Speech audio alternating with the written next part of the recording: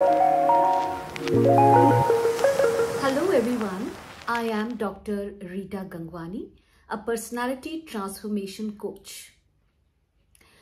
You see, when you move around in life, your impressions matter, whether it's your personal life or whether it's a professional life.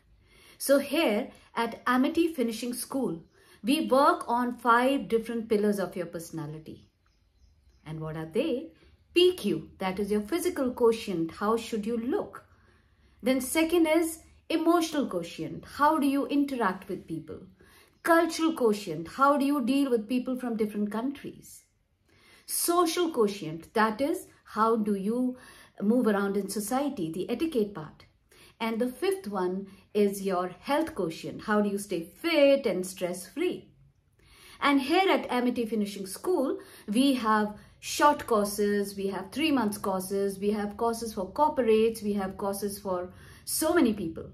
So do come over and experience for yourself the transformation at Amity Finishing School.